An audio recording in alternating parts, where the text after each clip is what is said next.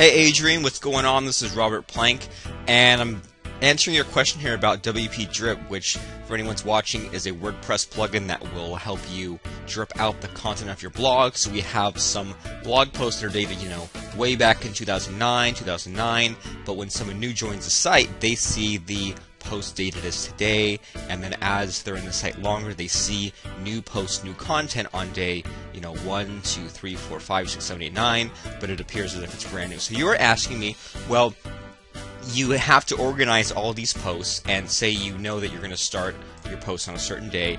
You want to just be able to very easily tell if a post will appear on day 10, if a post will appear on day 30, and not have to really lay out a calendar, not really have to keep track, and it's pretty easy. So, you know, you've been over here in the WP Drip, the, the settings area, and there's not really a lot to do here. But what we do is we're going to go to the click on the post link right here, and it's going to list all of the WordPress posts we have on our blog, all the usual stuff like the date. But this extra column here on the on the end, this is added by WP Drip. So what you can do is you can see okay, well, here's this one post dated 2010, but it's going to appear here on day 231, and because we also use this all the time, we kind of want to see it in different kinds of formats. Let's also say this appears right at 33 weeks, this appears right at 7 months, 21 days, and if you're looking at a monthly and weekly schedule. This will appear right at the 7 month, 3 week mark. So, if we just make it real simple, go to the very beginning, we can see that our very first post is dated June 1st, 2009.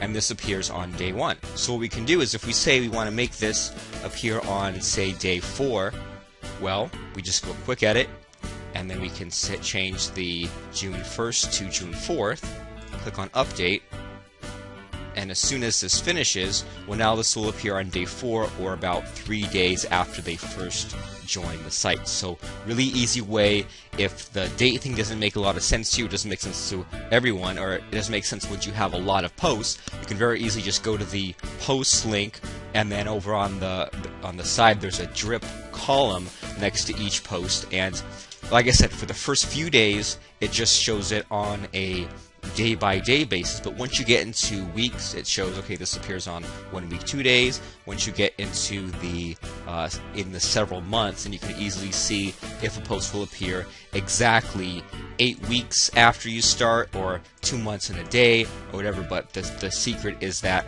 you go to post, and then there is this drip column. So anyway, that's all for me, Robert Plank, and that is the WP Drip plugin. If anyone watching, you can go to wpdrip.com, and this will drip out your membership site content. So someone pays you money, gets your membership site. Instead of getting all at once, the posts drip out according to how far apart you've spaced out your posts. You can see that somebody gets this on day 45, day 48, day 52, and really easy to keep track because you've added this drip column in the post area. Alright, thanks for watching. Later.